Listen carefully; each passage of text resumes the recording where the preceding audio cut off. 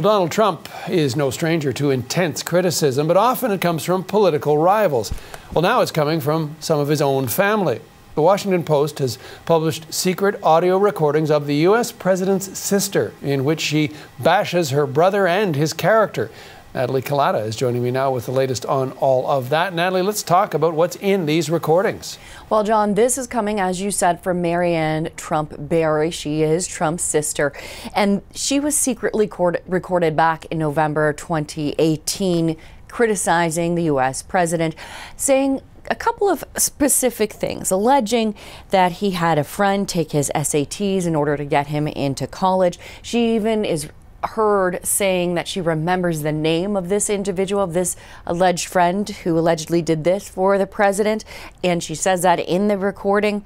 She also goes on to say and call him cruel and comments that she says continue that uh, that she had saying that he lacks preparation and that he and, and that he is lying oftentimes. So it was interesting to hear some of this. We have some of it for everyone at home. Have a listen lying. Oh my God, I'm talking too freely, but you know, it, it, the change of stories, the lack of preparation, the lying, the holy.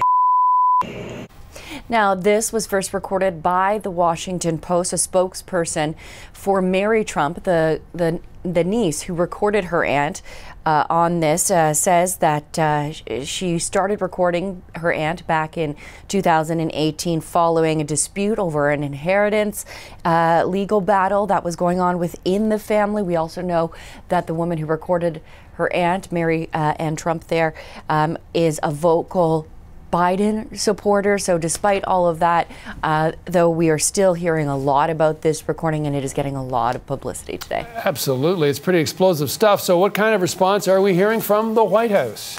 Well, we are hearing a response. Uh, U.S. President Donald Trump, uh, through the White House, released a statement yesterday. Here it is. Take a look at it. It says that every day it's something else. Who cares? I miss my brother. I'll continue to work hard for the American people.